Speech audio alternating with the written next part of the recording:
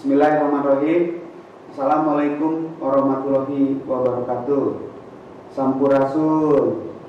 Puji dan syukur kita panjatkan kepada pemilik alam semesta Allah Subhanahu wa taala, Tuhan yang Maha Esa karena berkat perkenannya lah hari ini kita dapat bertatap muka dalam kegiatan pembukaan masa pengenalan lingkungan sekolah bagi siswa baru SMP Negeri 1 Purwakarta tahun pelajaran 2020-2021 secara daring dalam jaringan. Salawat serta salam senantiasa kita sanjungkan kepada junjunan alam Nabi besar Muhammad Sallallahu Alaihi Wasallam kepada keluarga, para sahabat, dan seluruh umatnya yang setia hingga akhir zaman. Amin. Perkenankanlah nama saya Agus Irianto Anwar SPD NPD, jabatan Kepala Sekolah SMP Negeri 1 Purwakarta.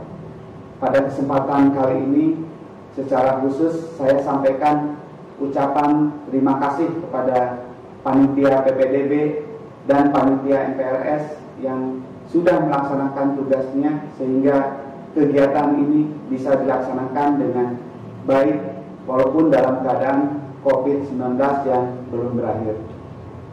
Berikutnya, saya ucapkan selamat kepada seluruh siswa baru yang sudah diterima di sekolah ini.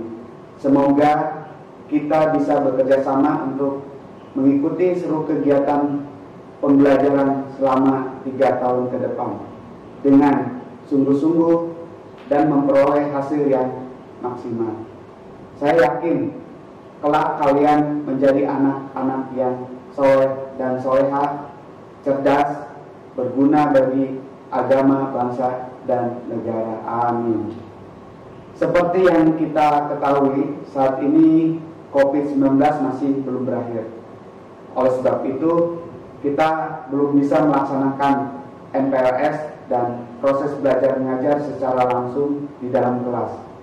Namun, Seluruh kegiatan MPLS dan proses belajar mengajar di sekolah ini tetap akan dilaksanakan secara daring sambil mengikuti informasi dan petunjuk dari pemerintah.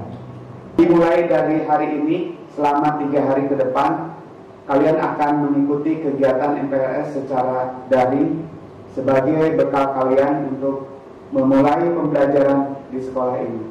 Walaupun kalian harus mengikuti kegiatan MPLS ini secara daring.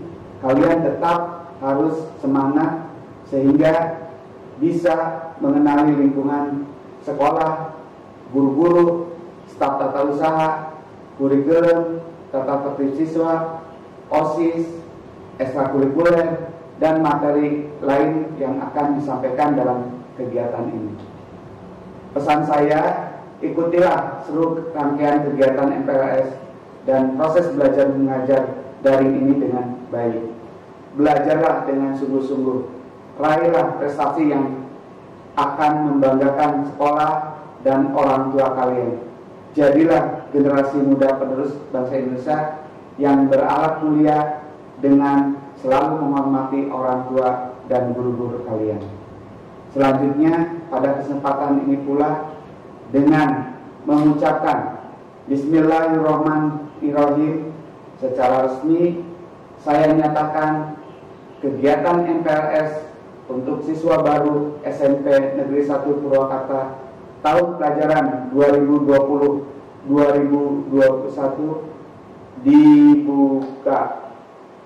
Selamat mengikuti MPLS.